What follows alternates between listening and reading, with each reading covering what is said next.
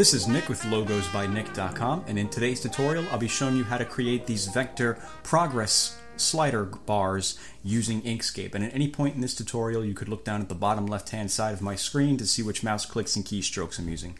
So let me minimize this and we'll get started here on Inkscape and by the way if you'd like to know how you can make Inkscape appear dark and with these custom icons over here on the left I will have a link to that information in the description of the video. So the first thing we're going to do is set the view well, we'll make sure that the view is set to custom, and then we're going to zoom in at a ratio of 1 to 1. And then we're going to open up our Align and Distribute menu, and we want to make sure we have last selected chosen from that drop down, and then we'll open up our Edit Objects, Colors, Gradients, and Stroke menu with that button right there. So the first thing we're going to do is create a rectangle that's going to represent this progress bar right here, this colored bar. So let's grab the Squares and Rectangles tool, and let's just click and drag on the canvas to create a rectangle like that. And once we've created our rectangle, we're going to take this little circle node here at the top and just click and drag that all the way down so it gives it a rounded edge. And then we could finalize that by converting it to a path. We can go to Path, Object to Path. And what we're going to do now is turn this 90% gray. And if you hover your cursor over the shade of gray over here to the left, it'll show you what percentage it is. So we're going to turn that 90% gray.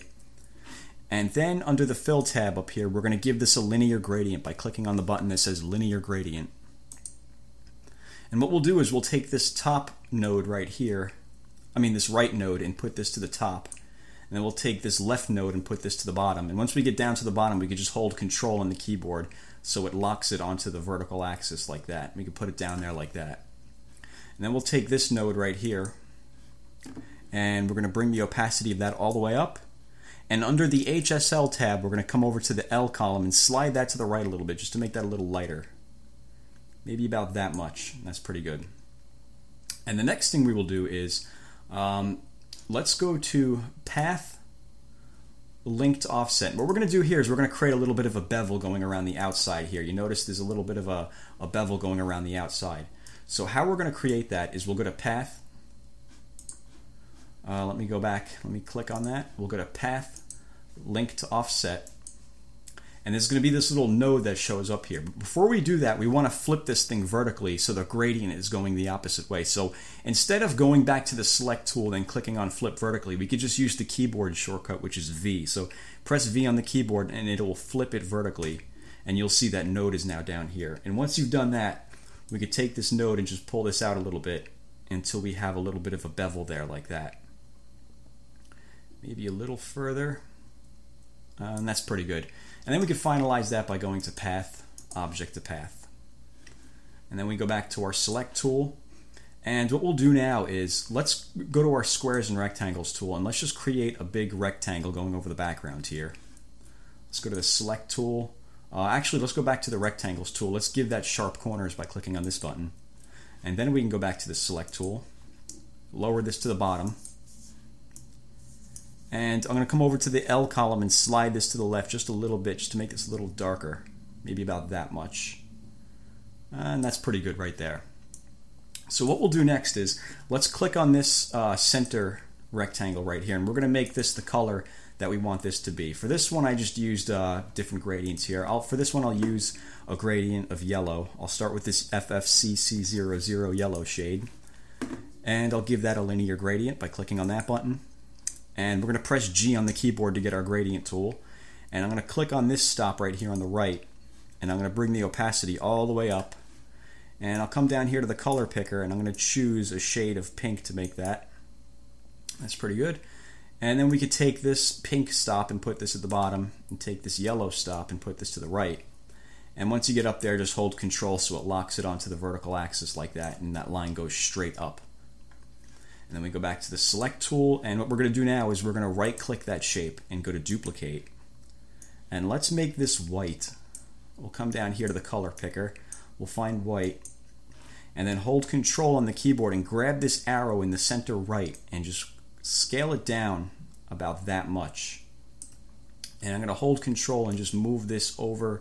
I'm going to move this in a little bit and then hold control again and move it up a little bit. And this is going to make for that little reflection of light that we see here. So once we have that positioned right about there, we can go to the select tool, uh, I mean the uh, edit paths by nodes tool, and click and drag over those three nodes on the right and then hold control and just click and drag this all the way over to the other side like that.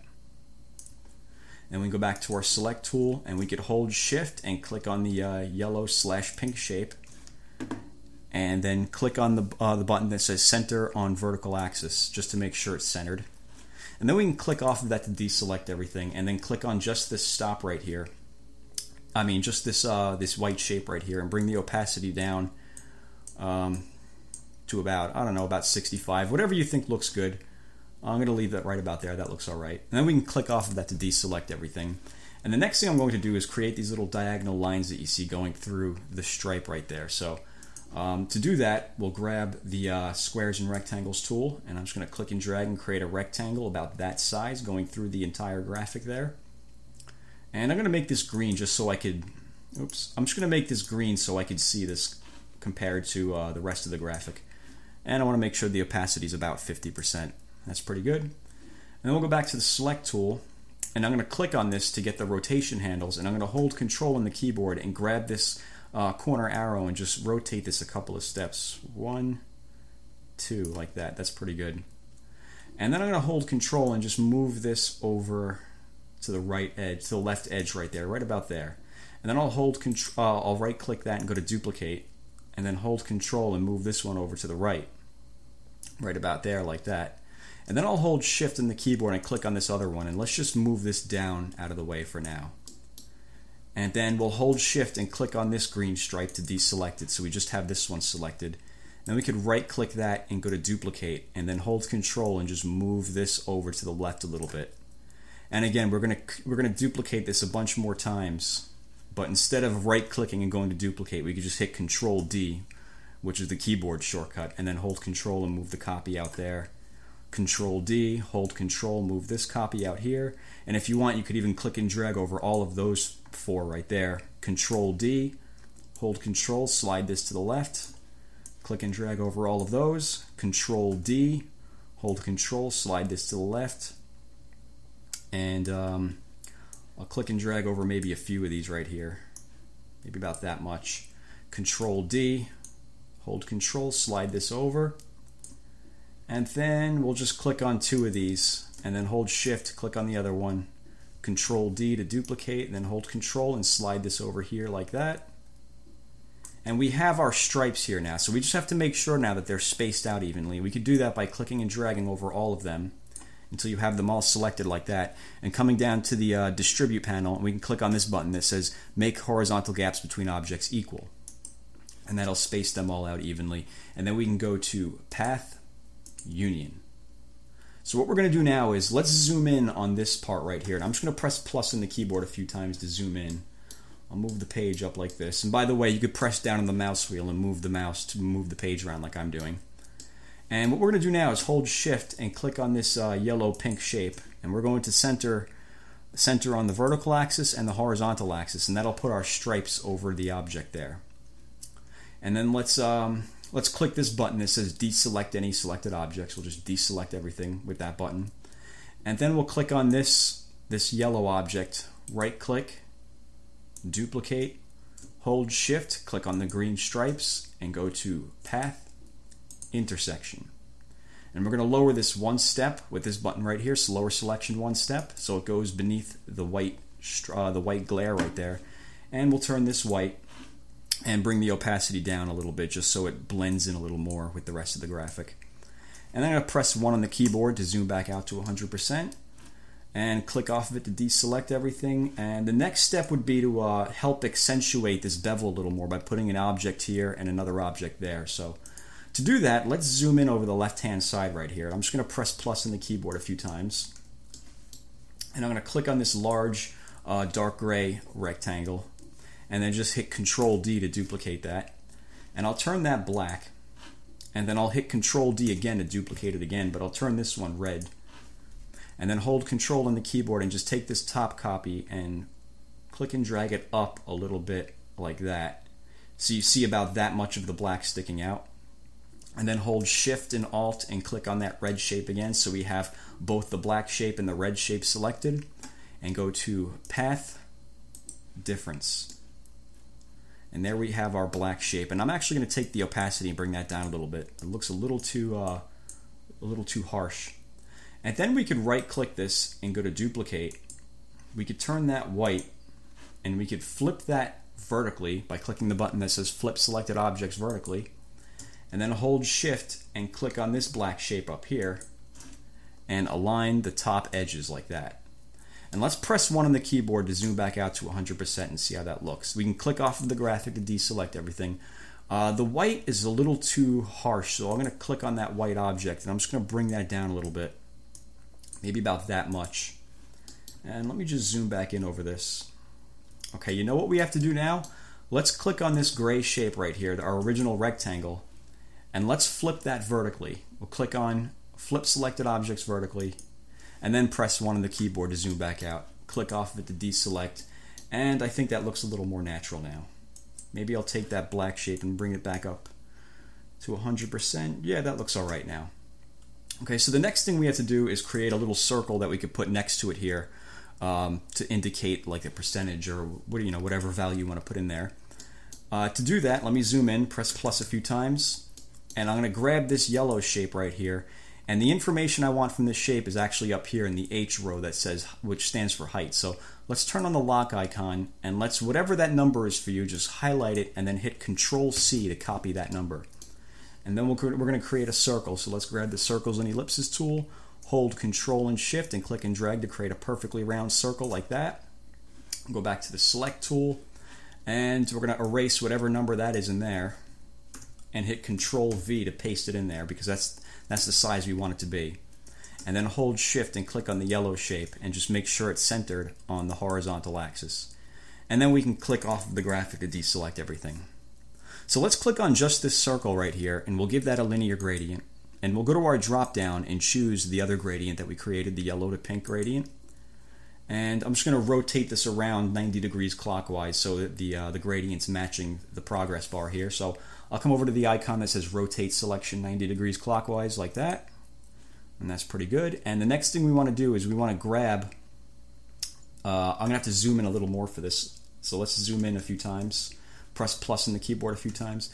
Let's click on this gray rectangle right there. Once you have that selected, we want to copy whatever information this is. So we'll, again, we'll hit Control C, and we'll come over here to this object. We'll right click that, go to duplicate, and we're going to make this the same height that the other object was. So hit just hit Control V to paste it in, hit enter. And the gradient we'll choose for this one is the same one we used for that other rectangle.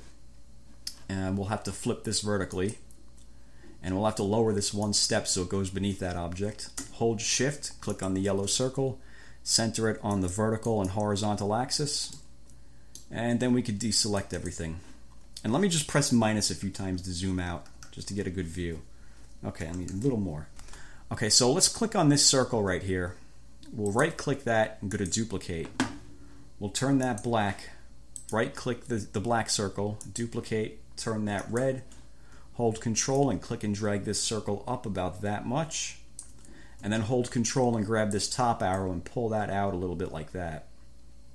And then hold shift and click on the black circle beneath it and go to path difference. Then we could right click this, go to duplicate. We could turn that white, flip that vertically, and let's find out what the opacity is for this. This white shape here is 30 at uh, 30% opacity. So we're going to set this to the same one. So we'll click on this. We'll make this, uh, we'll erase this. We'll make this 30% opacity. Then hold shift and click on the gray circle and align the top edges. And we can press one on the keyboard to zoom back out to 100%. Click off of the graphic to deselect everything. And there we pretty much have our progress bar.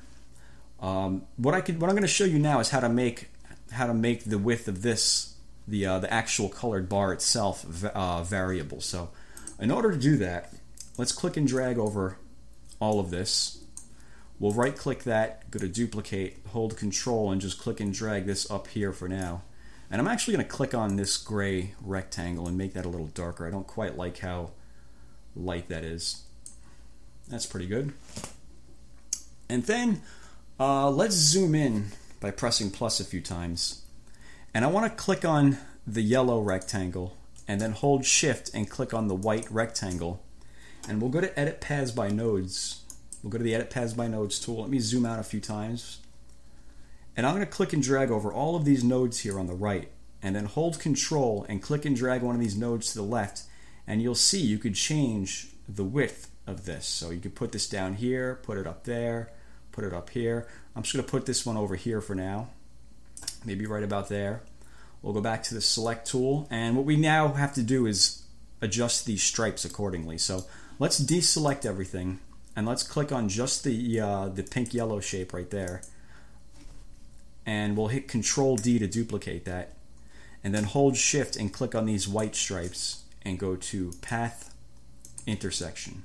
And you can see it now takes the shape. And if you want, you could even change the color of this. You can make this um, like a, a neon green. Whoops, I clicked the wrong thing. Let me zoom in, grab this yellow shape. We can make that like a neon green. Uh, give that a linear gradient. Press G to get the gradient tool. Click on that stop. Bring the opacity up, and we'll make this stop blue. And I'll just put this stop down here. And I'll take this stop and put it up there. Again, holding control so it goes straight up and down like that. And we could click on this circle and make that the same gradient by just going to our drop down. Go to the select tool. We could press one on the keyboard to zoom back out to 100%.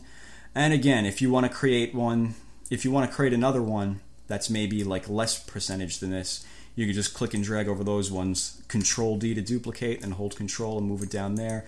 And you can go ahead and create uh, varying widths of the progress bar. So that's how you can create that using Inkscape. If you have any questions, let me know. And as always, thank you for watching.